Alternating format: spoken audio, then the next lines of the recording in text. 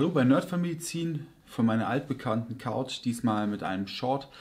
Ähm, wir haben euch ja schon gesagt, in den Shorts soll es so ein bisschen darum gehen, dass wir Fälle, die so oder so anders vielleicht irgendwann mal stattgefunden haben, ähm, sicher auch für euch lehrreich sind. Für uns waren sie das auf jeden Fall und deswegen soll es heute um eine Mitte 40-jährige Frau gehen, ähm, die zu mir in die Notaufnahme eingewiesen wurde bei Zustand nach Wohnungseröffnung. Die Rettungssanitäter haben gesagt, die Frau wurde äh, ziemlich verwahrlost da in der Wohnung vorgefunden.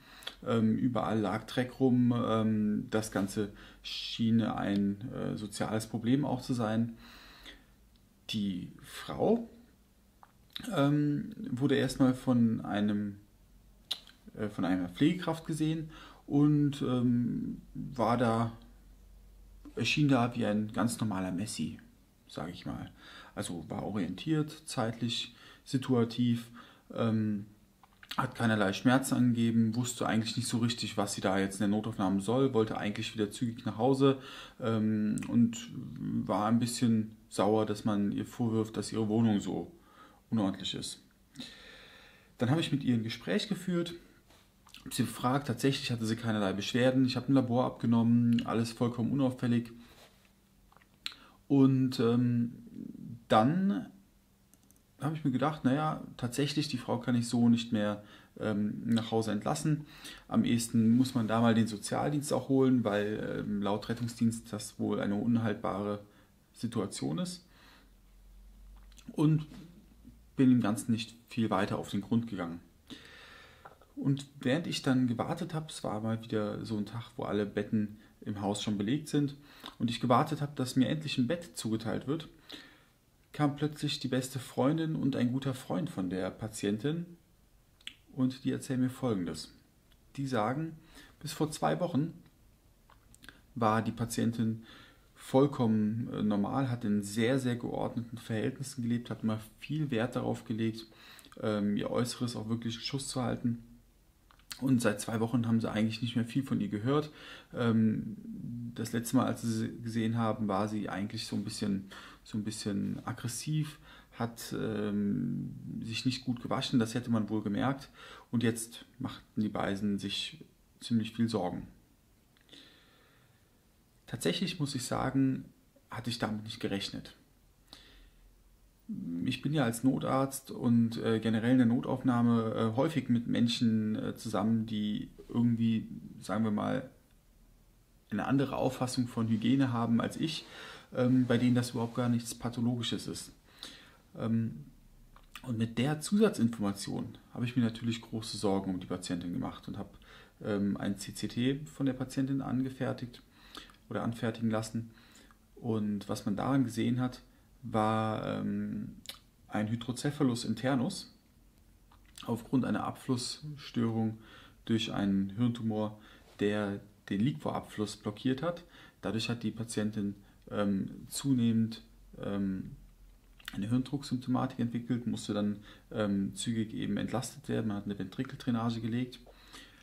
Und warum erzähle ich euch den Fall?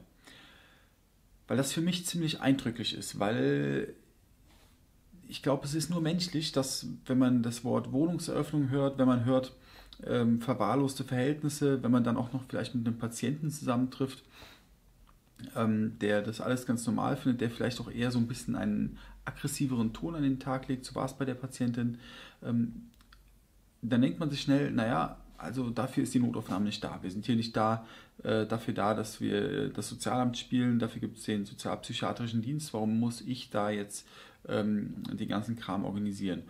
Und dann tut man sich ähm, sehr leicht, indem man einfach sagt, naja, kein Notfall, nichts für die Notaufnahme, auf Wiedersehen. Und tatsächlich wäre das eine Patientin gewesen, der ich damit vollkommen Unrecht getan hätte oder getan habe am Anfang. Ähm, was habe ich von dem Fall für mich mitgenommen? Tatsächlich vor allen Dingen, dass ich immer hinterfrage, warum leben die Menschen in solchen Verhältnissen. Natürlich gibt es manche Menschen, die sind Messis, es gibt manche Menschen, die haben einfach ein anderes Konzept von Körperhygiene, von, von geordneten Wohnverhältnissen als wir.